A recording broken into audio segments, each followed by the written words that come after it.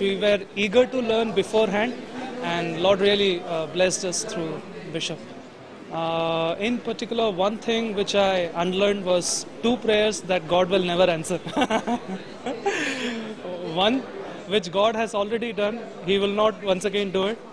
And uh, second thing, what God has told you to do, uh, you have you don't have to do it in your strength.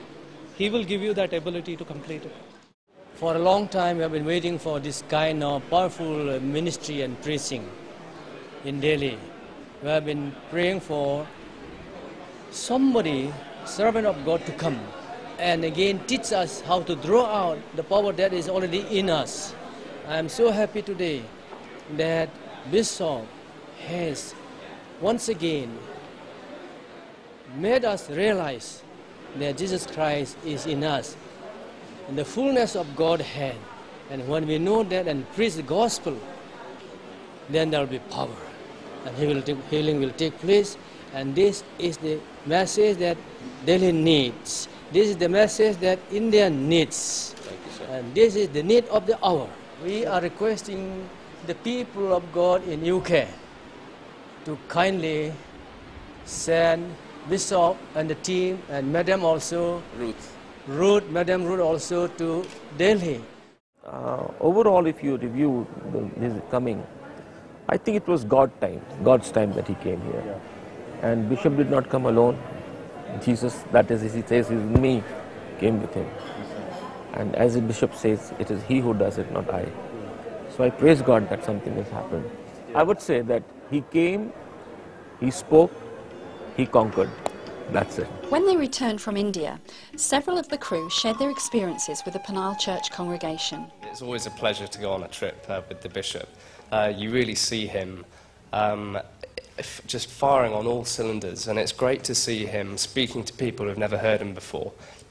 Um, you get to see them going from, from nothing, going from their old teaching to suddenly seeing the simplicity of the gospel as the bishop preaches it, um, and the freedom and liberty and you just you see them uh, the first day in Nagpur they seem to be a little bit um, almost in stunned silence or they were quite quiet.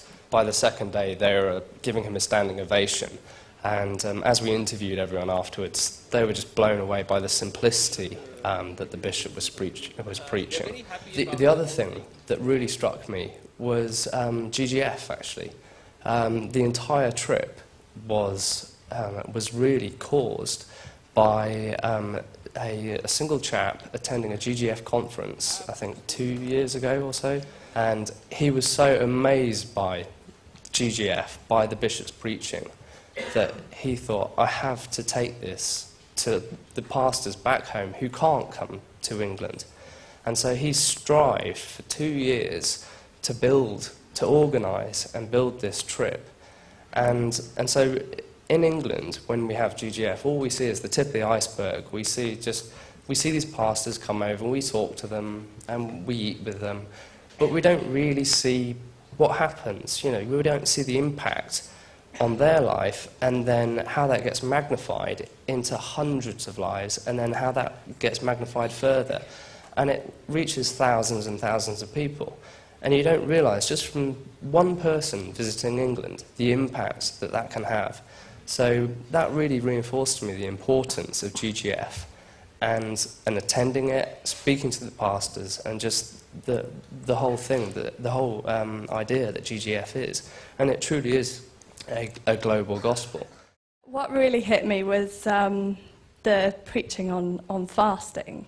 And I'd always believed what Bishop Reid said that, you know, fasting is, uh, we don't need to fast because it's all what God has done not what we're doing. Um, and I really saw just how he presented that to people in India. And I thought, you know, that a lot of them live in poverty. Why, why would people fast over there? That, I mean, surely it, they struggle to eat as it is. Um, they're not going to try and, and not eat.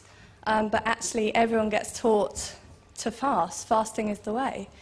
And um, it, it just really clicked with me why it is. It's just because people are straining and, and they, they're under guilt, and we saw that so much on the first day um, there were two days in Nagpur. And the first day, everyone was so quiet, and Bishop Reid, I think he broke them in gently actually. He got up in the morning and um, he was just telling his testimony, and everyone was so quiet, and there were a few polite claps. And then in the afternoon, he was, and this and that, and no fasting and that. And um, the, the interpreter, bless him, was doing exactly the same actions. it's a really different culture. Um, it's like nothing I've ever experienced before going to India. Um, when we walked into the conference hall on the first day in Nagpur, the pastors' conference, we walked down the steps to the, to the stage. This was before Bishop Reid and Ruth got to the, to the meeting. And it was so different. Everyone was dressed so unbelievably colourfully. And the music, I don't know if you've ever heard an Indian sitar, and they play notes which you don't get in West or something, and it just sounded so very different.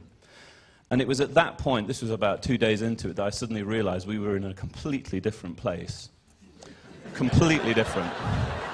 A completely different culture.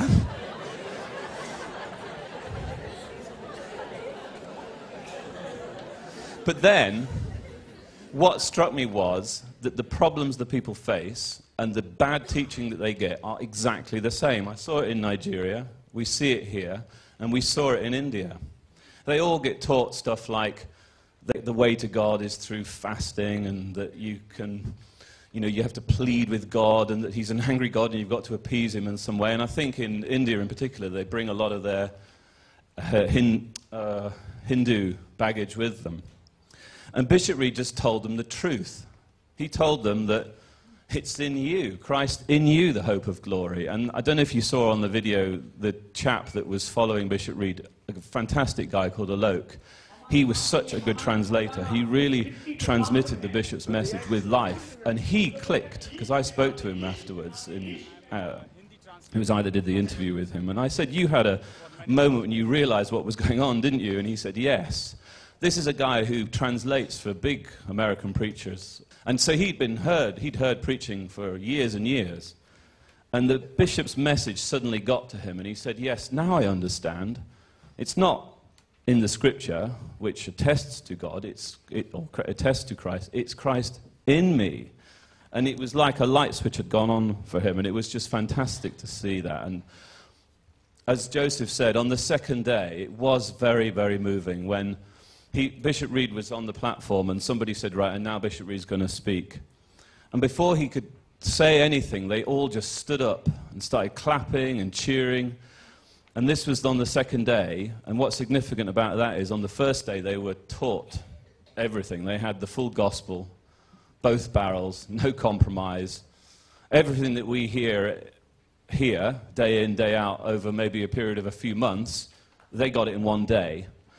And it blew their minds, quite obviously. And I guess they were thinking about it overnight. And their reaction on the next day when they finally realized was just amazing to see. And we did see some fantastic miracles, like that kickboxer you saw him on the video. He nearly kicked Bishop Reid, I think, these demonstrations. And the lady who had her sight restored. There was a woman who was healed of spondylitis. The little baby in Delhi who, who had club foot. If you do get an opportunity to go on a mission trip, do it, because it does change your life.